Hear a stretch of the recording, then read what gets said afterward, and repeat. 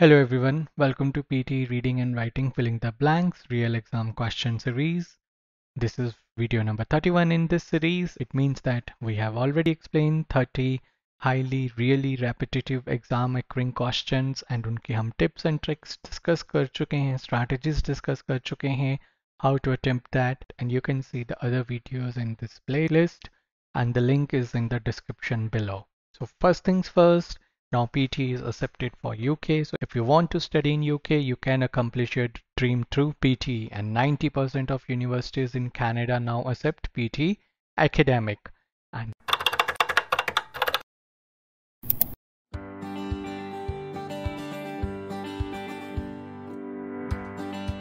My name is Bharat Bridge. I have scored perfect 90 in all the 10 skills of PT and in this video series we discuss the reading hacks so that you can also achieve your PT reading score in first attempt right because we at Marvel PT we do not want कि आप बार बार money waste करिए paper fill करने में and you have to improve your reading you have to improve your grammar you have to learn the tricks and strategies which we teach which are going to help you to crack reading and do not forget to subscribe to our channel because we post such informative videos on a regular basis. So PT reading is of 32 to 41 minutes and आपको time management खुद करनी होती है. It has five question types and the first question type is the most important one which is the topic of today's video also which is reading and writing filling the blanks. Why I'm saying it's important? Because it contributes 22 marks to your reading and 22 marks to your writing. So that's why it's very important. And the strategy is that based on artificial intelligence and big data analysis, you just have three minutes to solve your one reading and writing filling the blank. And अब क्या आप उन three minutes में सारे words पढ़ के उनका meaning understand कर सकते हो the answer is no you have to do the skimming and we teach our students how to skim and skimming is the right strategy. So this is reading and writing filling the blank number 31 as usual i'm going to give you 30 seconds to go through this and then we will discuss it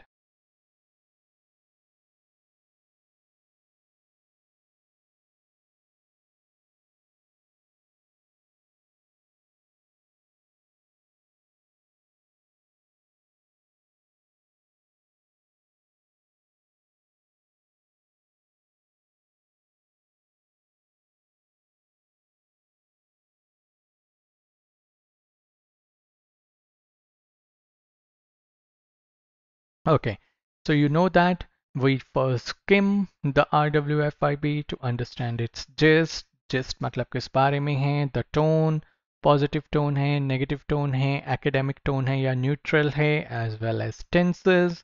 Present tense use हो रहा है, past tense use हो रहा है so that we can easily start solving our blanks. Let's get started with the skimming. 40 years ago yesterday, paleoanthropologist found in Ethiopia was arguably the most important of a human ancestor. Last month, talked about moment he laid eyes on Lucy on that eventful day in 1974. I was out. Tom Gary writing back to our Land Rover, go to the camp, swim in the river, enjoy a nice lunch, and I always looking at the ground. I found more quarters by parking meters anybody I know I think and you know how it is to find what you're looking for because a year before a geologist left his footprints away from the skeleton because he was looking for rocks. I was looking for bones and I found a little piece of elbow that allows to flex and extend our arm and I know from my study of osteology of comparative anatomy and so on that this was a human ancestor as I looked up the slope, I saw other fragments and we recovered over two week long excavation operation roughly not counting hand and foot bones 40% of the skeleton. This was important because it broke the 3 million year time barrier. All the fossils other than were in the history of paleoanthropology would fit into the palm of your hand we didn't know that it was a new species until a few years when we published in 1978 check out the blog item on website by Scientific Kate who with Jonathan co-authored the book Lucy's Legacy. Kate's blog is something. Okay. So they are talking about a person. Jonathan is the name of that person. Skimming me, you can skip these details and he has discovered a fossil उन्होंने उस fossil का name Lucy दिया है right over here it's written and he saying that कि अगर आपको ढूंढना हो, अगर आपको पता हो आप क्या ढूंढ रहे हो, आप ढूंढ लेते हो, वैसे ही वो क्वार्टर्स की बात कर रहा है। क्वार्टर्स आर 25 सेंट्स जैसे पहले हमारे यहाँ पे 25 पैसे के कॉइन्स होते थे, वहाँ फॉरेन में quarters are like 25 cents right and he sing that उन्होंने डिस्कवर कर लिया और उसके बाद टू वीक लॉन्ग एक्सकवेशन हुई और बहुत अच्छा 40 परसेंट ऑफ़ द स्केलेटन मिला, जो बहुत ज़्यादा यूजफुल था इंपॉर्टेंट था न्यू स्पीशीज डिस्कवर हुई। Now, okay, we have skimmed it. Now we have got an idea. Now I have highlighted few things. One is quarters. I have already explained, but iski pronunciation quarters hogi. Quarters nahi hogi. R is silent. Remember, PT mein pronunciation is important. It, the marks of pronunciation or the content goes to your listening as well as reading. So that's why you have to improve your pronunciation and we have a complete course for pronunciation also. Now why I have put these stars or asterisk marks over here. These are British English rules for adjectives. If you see two week long एक से ज़्यादा word है adjective की तरह act कर रहा है for this noun excavation and it will be used with hyphens. So that's why it's important why I'm telling because 3 million year भी आपका adjective में एक से ज़्यादा word है and hyphens use हो रहे हैं. So you need to understand and realize these things. Because ये सिंपल ट्रिक्स एंड ट्रिप्स आपकी राइटिंग में बहुत यूजफुल होती हैं when you are writing your essays summarise spoken text या summarise written text. And all these things, parts of speech we cover in detail in our grammar course. अब पहले anthropologist क्या होता है? एंथ्रोपोलॉजिस्ट क्या होता है? बेसिकली जो ह्यूमंस की हिस्ट्री को स्टडी करता है। पेलियो मीन्स पेलियोंटोलॉजिस्ट कौन होता है? जो फॉसिल स्टडी करता है। तो अब ये दो फील्ड्स का कॉम्बिनेशन है जो आपके ह्यूमंस की हिस्ट्री और फॉसिल्स को स्टडी करता है, उसको पैलियो एंथ्रोपोलॉजिस्ट कहा जाता है okay I have already covered quarters and then osteology osteology is the study of human bones पुरानी बोन्स की स्टडी करना। जो करंट लिविंग ऑर्गेनिजम्स हैं, उसको हम ऑर्थोपेडिक्स कहते हैं ऑर्थोपेडिशियन कहते हैं। जो डेड फॉसिल रिमेन्स की स्टडी करता है, उसको हम ऑस्ट्रियोलॉजी कहते हैं ओके तो now let's get started with the first blank right so let's see and you know that you have to read four five words before the blank and four five words after the blank okay so जो person था, उसने Ethiopia में the most famous and important ढूंढा of a human ancestor right अब human ancestor अब PT में ये बहुत ज़्यादा कॉमन है, ये fossils right ancestors because PT academic है and this text the tone of this passage for academic सारा आपको बायोलॉजी से रिलेटेड लगेगा। So if you are a biology student it would be a piece of cake for you because आपको पता है ancestors के हमारे क्या फाइंड आउट होते हैं fossil right so the correct answer is going to be fossil वैसे भी I have told you palaeontologist कौन होता है हु स्टडीज़ फॉसिल्स सो अब लेट्स सी अगर आपको ये नॉलेज नहीं है how you are going to solve this blank अब द मोस्ट है the most important person the most important thing हमेशा सिंगुलर में यूज़ होगा प्लूरल्स यूज़ नहीं हो सकते हैं. So, we can do our process of elimination if we know simple and basic grammar rules, जैसे मैंने आपको यहाँ पे बताया. द मोस्ट के साथ आप प्लूरल्स नहीं यूज़ कर सकते तो प्लेसेस रिमूव हो जाएगा। अब ग्लैंड ह्यूमन एंसेस्टर राइट अब आप एक चीज़ बताइए इतना पुराना थ्री मिलियन ईयर ओल्ड जो हमने यहाँ पे देखा gland is a part in human body but living human body में होता है। जब कोई पर्सन मर जाता है तो उसके सिर्फ़ बोन्स जिसको हम कहते हैं अवशेष रहते हैं फॉसिल्स रहते हैं सो so, ग्लैंड नहीं हो सकता okay okay? And range again singular बात नहीं होती range of a human ancestors होता तो हम यहाँ पे रेंज कर सकते थे बट एक ही सिंगल एंसेस्टर है, उसका नेम लूसी है राइट सो इसीलिए रेंज भी नहीं हो सकता बिकॉज़ प्लूरल के साथ यूज़ होता है। Again a grammar rule so using process of elimination also we found out कि सिर्फ़ आंसर हमारा फॉसिल होगा। So we have selected fossil here moving on to the next one अब क्या आपको ये दोबारा सारा डिटेल में पढ़ने की ज़रूरत है the first answer is no what we are going to do is we are going to read two three words or four five words before the blank and four five words after the blank to solve the blank this is the preferred strategy So I am always looking at the ground. I find more quarters by parking meters.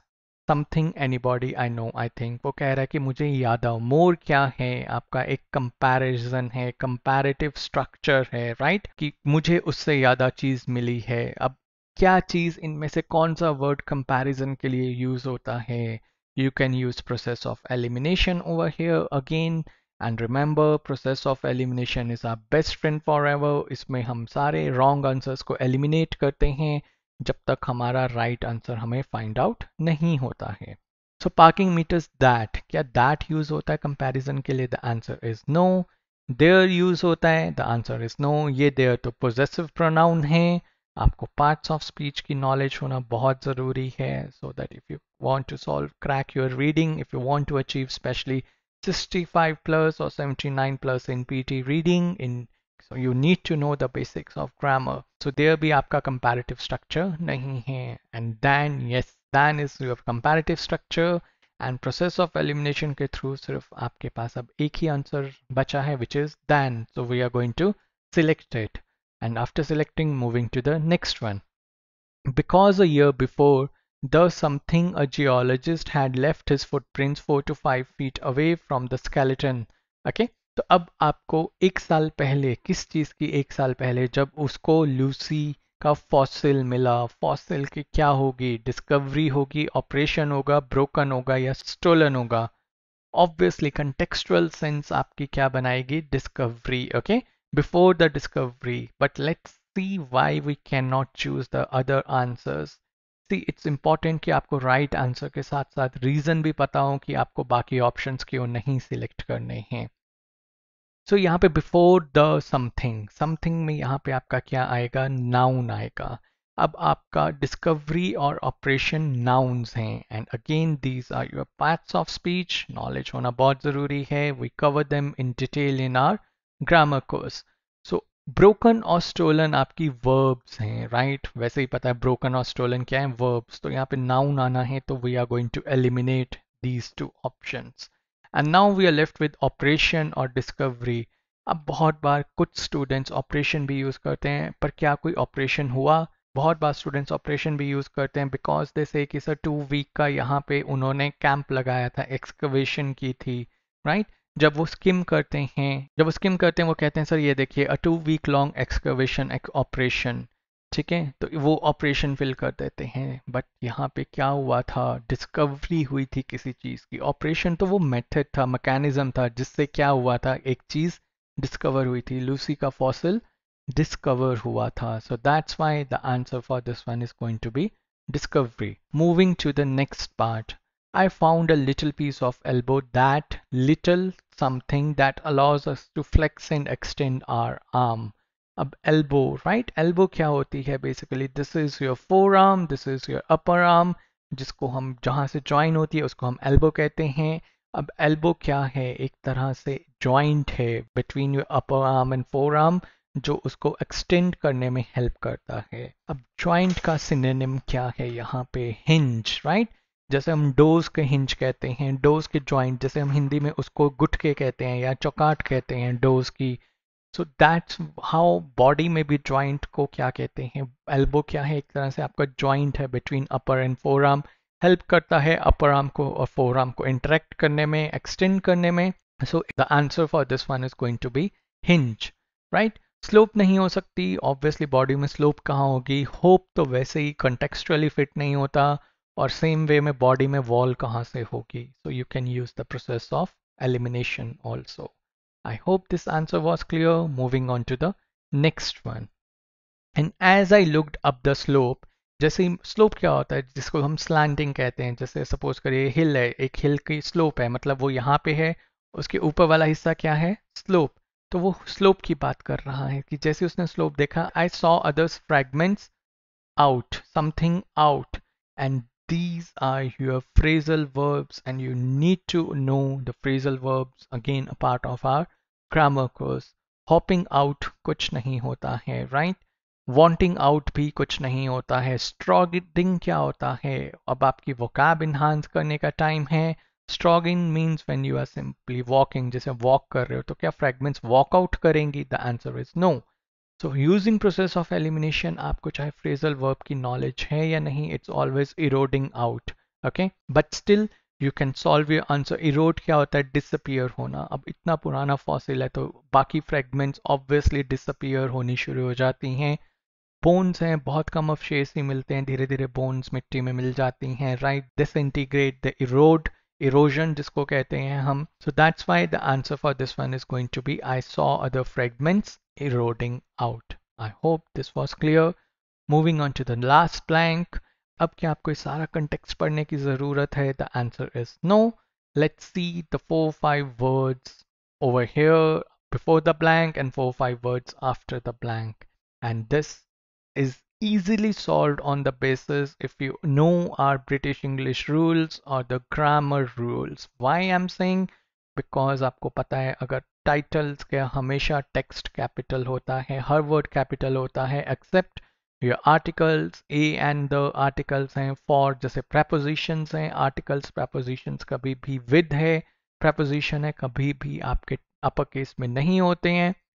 पर जो आपके बाकी parts of speech होते हैं, जैसे noun हो गया verb हो गया वो सब आपके अपर केस में होते हैं। सो so, यहाँ पे I have clearly mention what the answer is over here this is title this is given as a title so Kate's blog is titled that's why simply you are going to select this answer but ये तभी possible हो सकता है if you know all the grammar rules so let see if the answers are correct yes all the answers are correct so our strategies are based on context, lexical resource and grammar which we teach to our students in detail.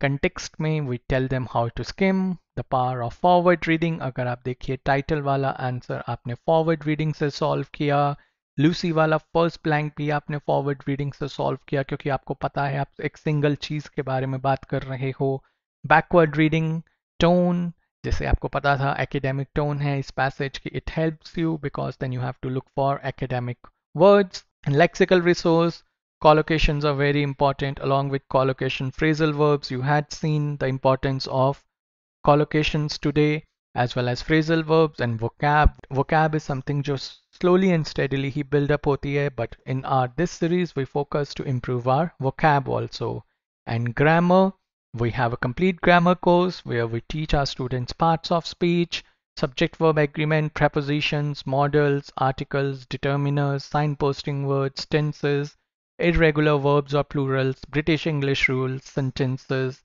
So all this we teach and we had seen today the usage of British English rules, parts of speech. So all these things will help you to crack your reading and you can achieve your target score in first attempt and always remember you just have three minutes to attempt. In first 30 to 60 seconds, you are going to skim the content. आपको अपने content को skim करना है and then in remaining 90 to 120 seconds you are going to use process of elimination to eliminate the wrong options and all the strategies which we teach to our students are validated and proven strategies and the proof is in the ticker below you can see the latest success stories of our students who have achieved their target score and these are some of the success stories where students have achieved a perfect 90 also. So if they can achieve you can also achieve your target score. If you have any questions or doubts you can whatsapp us at 8699 121 121 and do not forget to subscribe to our channel because we give wings to your dream